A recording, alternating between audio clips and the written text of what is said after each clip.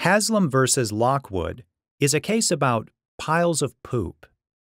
You may laugh, but remember that in the 1800s, farmers relied on animal manure to replenish nutrients in their soil. Horse poop was brown gold.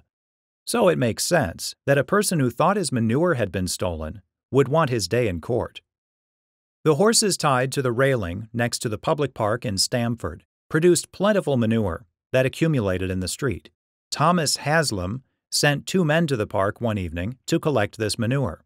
The men spent two hours raking the manure into heaps.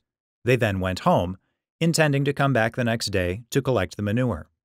The next morning, William Lockwood came upon the neat piles of manure. There was no sign of who had assembled the heaps or whether they were coming back for them.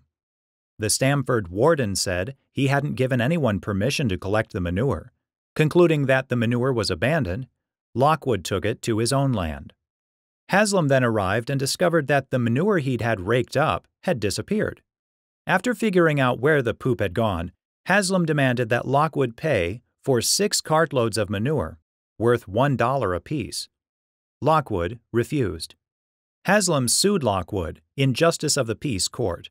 He brought claim of trover, a legal action to recover the value of a chattel unlawfully appropriated by another. The justice ruled in Lockwood's favor. Haslem appealed to the Court of Common Pleas. Haslem argued that the manure lying in the street was personal property that had been abandoned by its owners. Accordingly, it was available to become the personal property of the first person to take possession of it, which Haslem had done by gathering it into heaps. Lockwood countered that manure was part of the real estate and that it didn't become personal property until it was removed from the land. He also argued that even if the manure were personal property, Haslem had abandoned it when his men went home, leaving the piles behind.